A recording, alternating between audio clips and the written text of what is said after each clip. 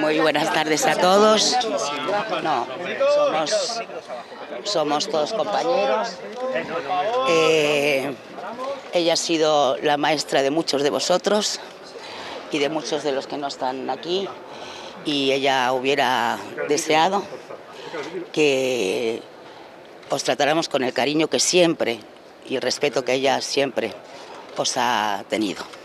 Queremos ante todo daros las gracias a todos y a todos los medios por el cariño y el respeto por el que se le está tratando a una gran periodista, que es lo que ha sido mi madre toda la vida, una gran comunicadora. Y daros de verdad, no estaremos nunca tan agradecidas al cariño y al respeto por el que se le está tratando por todas partes, de verdad. Vosotros una gran abuela. a una de las más grandes profesionales de este país, pero nosotros hemos perdido a nuestra madre. Ha sido un camino muy difícil y muy largo. Desgraciadamente, ha sido un camino de casi un año que hemos intentado llevarlo con el mayor respeto hacia ella, sabiendo que lo que le ocurría era de interés público, pero que merecía tener intocable su dignidad. Y su intimidad. Por eso siempre hemos rogado a los medios de prensa que se preservara su imagen. Creíamos que eso era un daño moral hacia ella innecesario. Hay veces que uno puede informar y contar y, participar y compartir con los compañeros, pero hay cosas que debemos respetar porque somos todos todos tenemos madres, padres, o lo hemos tenido en algún momento, somos hermanos, somos hijos, y en ese sentido sé que, que lo habéis entendido. Siempre hay alguien que no, pero eso pasa en todas las profesiones de la vida.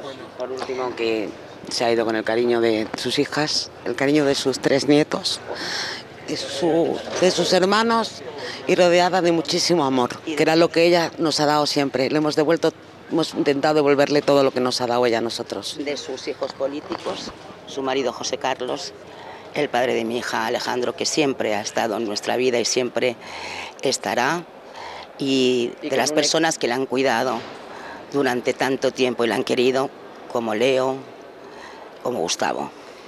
Y sobre todo, no podemos olvidarnos, todo el equipo de la Fundación Jiménez Díaz, el trato hacia mi madre, el trato hacia nosotros, el cariño con el que las han tratado.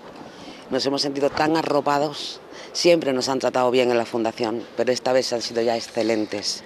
Yo siempre he dicho que es mi casa, porque por las circunstancias que nos ha tocado me ha tocado vivir en la vida, pero no sabéis con el amor, de verdad, y a las enfermeras especialmente, a Carmen y a Hildi, que, bueno, ha habido momentos que parecía que era su madre.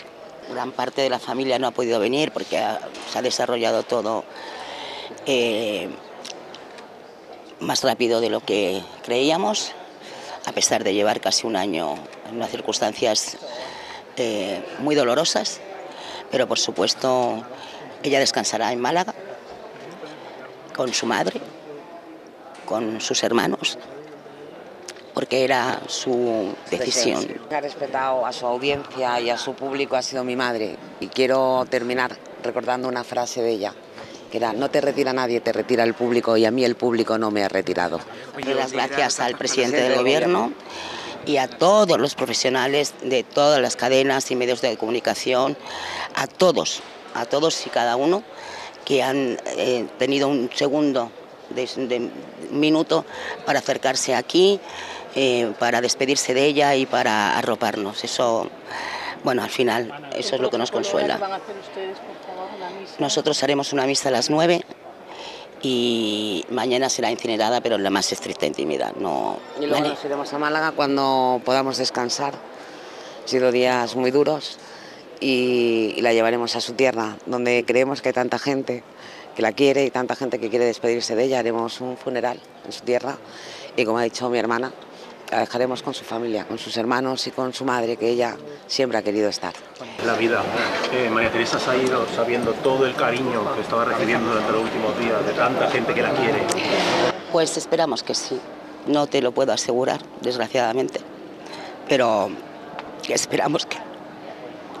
Yo creo que, que a ella este momento de cariño y de respeto lo hubiera llenado de emoción y por eso no tendremos tiempo para agradecer de verdad vuestro cariño, de verdad. Muchas, gracias a todos. Muchas Y gracias. gracias de verdad por atendernos. Gracias. Son- tenemos mucho. Gracias. Gracias.